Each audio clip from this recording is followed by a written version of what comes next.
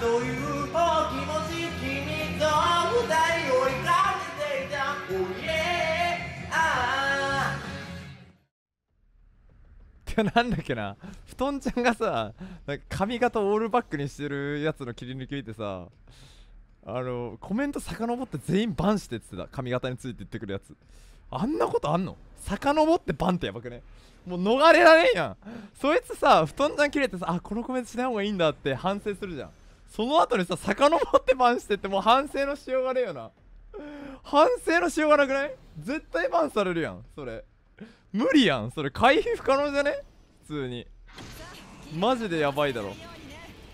絶対回避できんやん。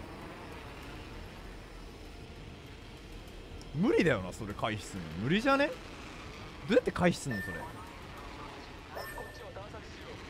無理じゃん遡ってバンは。視聴者。